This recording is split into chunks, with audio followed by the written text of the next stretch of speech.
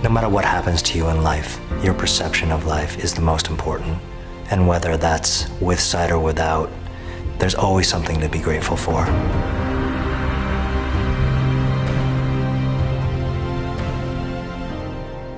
Dr. Ming Wang is a world renowned optometrist who has had an extraordinary life and has an extraordinary story to tell. You know, this was a guy who, who really came from nothing and, and created something. And he finds himself at the top of his professional career, and a patient enters his life. Our pro bono office got a call from India. A little girl, six years old. Kajal was sent out to be a beggar on the streets in a slum in Calcutta. Street beggars make more money if they're legitimately blind. So the stepmother poured sulfuric acid in each of her eyes. Hello, Kajal. You can call me Dr. Ming. And it's the sight of her that sparks something in Dr. Wang's life, and he remembers his past. Dr. Wang grew up as a kid in China.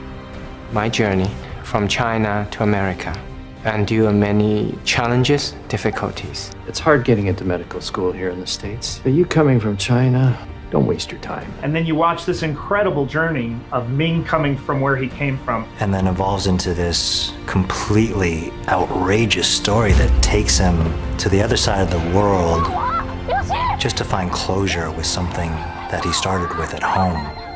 An incredible story of a man who has gone through hardships that very few of us will ever endure. And his ability to put himself at risk is just unbelievable. Because sometimes life just beats us down. We've literally been through everything. We all lose our way periodically. A great friend is somebody you can count on in those hours. There's some things in the past that I can't get over. I'm sorry that I couldn't be there for you when we were kids, but I can be here for you now.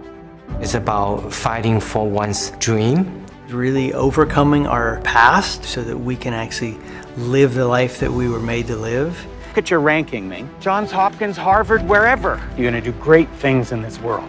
It's also an immigrant story. It's a great reminder that an immigrant story isn't a foreign story. It's a story of all of us. We all really do have a purpose in us that is meant to better the world. That's to make it a more beautiful, joyful place.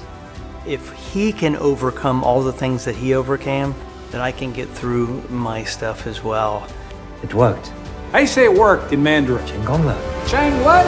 Chen Gongla. Chang Gongla! no, but yes. We are where we came from, but we could be so much more if we could find peace with our past and embrace the present.